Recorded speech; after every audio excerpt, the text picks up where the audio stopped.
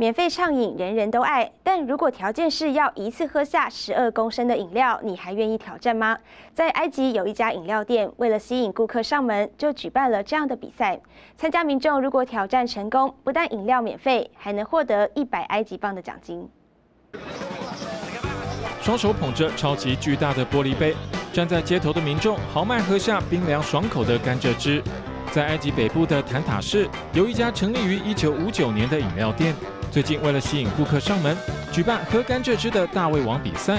民众如果能成功挑战一次喝完12公升的甘蔗汁，不但饮料免费，还能获得一百埃及镑的奖金。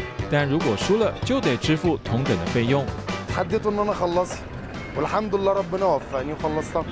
想出这个招数的是饮料店新一代接班人穆罕默德。拥有经济硕士学位的他，在四年前推出这项比赛，让饮料店的生意因此热络起来。接下来，他还打算推出更高难度的团体赛。